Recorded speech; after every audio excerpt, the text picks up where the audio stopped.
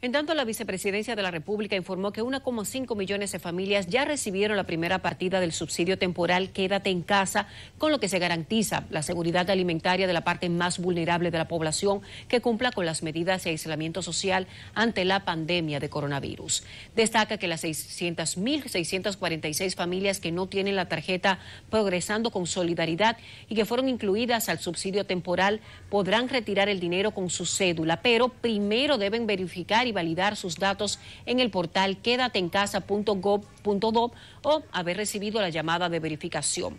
Reseña que las familias sin tarjeta fueron incluidas en el subsidio transitorio Quédate en casa al estar clasificados como pobres 1, 2 y 3 en la base de datos del Sistema Único de Beneficiarios a raíz del último estudio socioeconómico de hogares hecho durante los años 2018 y 2019.